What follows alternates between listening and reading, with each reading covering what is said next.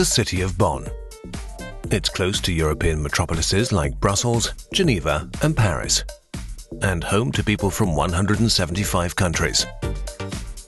Intercultural atmosphere meets German cultural history. But Bonn is also a place of great political significance historically. The seat of Germany's parliament and government for over five decades, the city has now become something of a think tank for global issues. Right on the bank of the Rhine is the campus of the United Nations. 20 UN institutions and some 1,000 employees here are pushing ahead with Agenda 2030.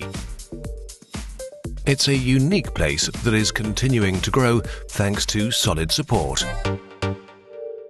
In 2006, the United Nations expanded in Bonn to a full UN campus. Present were Kofi Annan and again Angela Merkel. This time, the Lange where I currently stand, became the main building. The UN has grown to include the old parliament offices and soon a new carbon neutral tower. Today, Bonn hosts 20 UN organizations. We work in diverse areas, from volunteering to climate change. Yet, we are united in striving to achieve the Sustainable Development Goals. Join us and learn more about the UN in Bonn and worldwide. Bonn is also a center for international conferences. Big international summits, environmental meetings, and festival type events bring together visitors from around the world. Effective interactive clusters have developed here in the environment, climate and sustainability, as well as in education, science and innovation. So the UN campus in Bonn lives and breathes the United Nations 17 goals for sustainable development.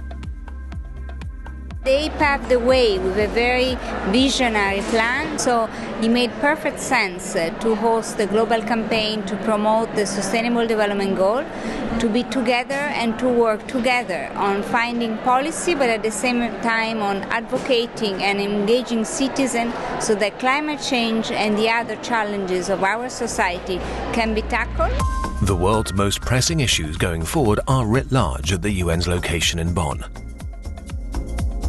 This is where the international community meets to discuss wildlife conservation, biodiversity, renewable energies, climate change, and risk management associated with natural catastrophes. Climate and sustainability policy is shaped on the global level while being implemented locally and internationally.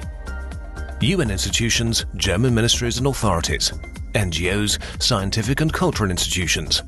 Bonn connects a huge number of people.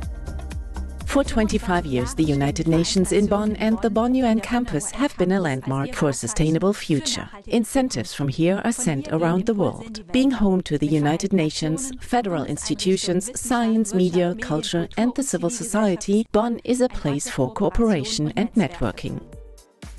Political, multicultural, and open to the world. The UN campus in Bonn.